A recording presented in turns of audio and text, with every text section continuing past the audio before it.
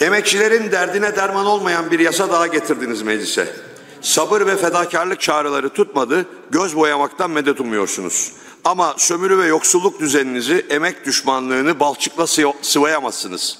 İşiniz gücünüz halkın boğazını sıkıp cebinde ne var ne yok alıp büyük sermayeye aktarmak, yandaşlarınızı kayırmak. Milyonlarca işçi asgari ücrete Temmuz'da zam istiyor. Milyonlarca emekli açlık sınırının yarısı kadar olan ücretlerine isyan ediyor. Yüz binlerce kamu işçisi bir nebze de olsa insanca yaşamak için egzam istiyor.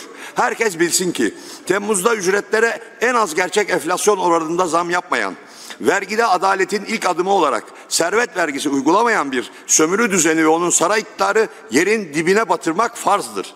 Bütün işçi emekçi kardeşlerimize sesleniyorum. Ücretlere Temmuz zammı için mücadeleyi büyütelim. Teşekkür ediyorum.